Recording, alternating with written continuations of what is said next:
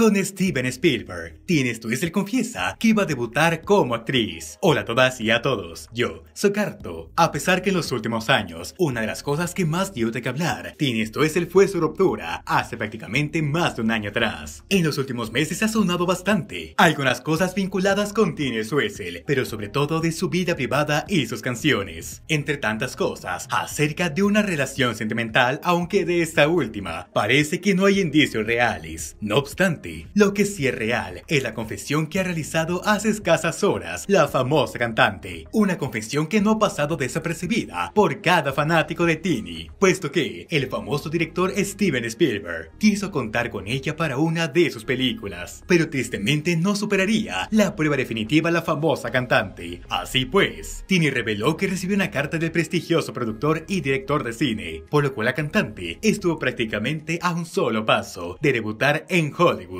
Pero finalmente las circunstancias la privaron de aquel sueño. Tini, de 24 años, saltaría su carrera artística en 2008 con la serie Patito Feo, aunque sería hasta 2012, que tendría repercusión mediática gracias a Violeta y su papel protagónico, para después así despegar prácticamente como solista y gran cantante y compositora de canciones sumamente recordadas como Te Olvidaré y demás canciones que ha lanzado en el pasado, que han sido rotundos éxitos. Pero curiosamente, en el caso que Tini hubiera pasado la prueba de Steven Spielberg, hoy no estaríamos hablando de Tini Stoessel de 24 años, una gran cantante argentina, sino Tini Stoessel de 24 años, una gran actriz que debutaría en Hollywood prácticamente en su adolescencia. Y a pesar que esto último tristemente no se hizo realidad, eso no significa que Tini Stoessel actualmente no sea feliz, puesto que la propia cantante ha afirmado que en la soltería ha logrado crecer de manera sobresaliente,